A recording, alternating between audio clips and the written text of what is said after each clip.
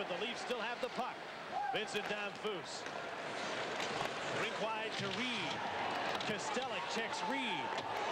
Cunneyworth just took a poke at Damphousse, and Ryan Bolzak is separating Cunneyworth and Damphousse as the play went on. They were back at center, starting a scrap, or trying to.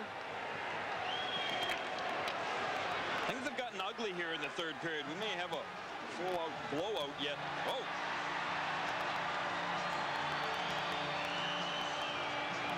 This is scary with Oh, all sure these is. skates around here.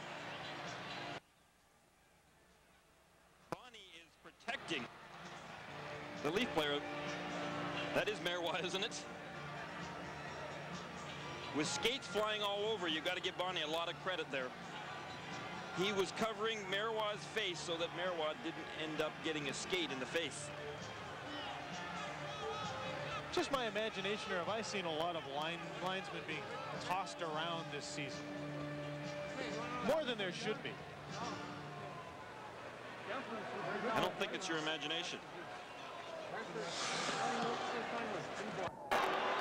Here's a look at what happened, and look at this tough day at work for the linesman. Wayne Bonney ends up getting cut. Now where it happened, I'm not quite sure. But he gets a cut on the chin. It could be any place in there, couldn't it? And in the middle of all that is Bonney, and then he's tossed down.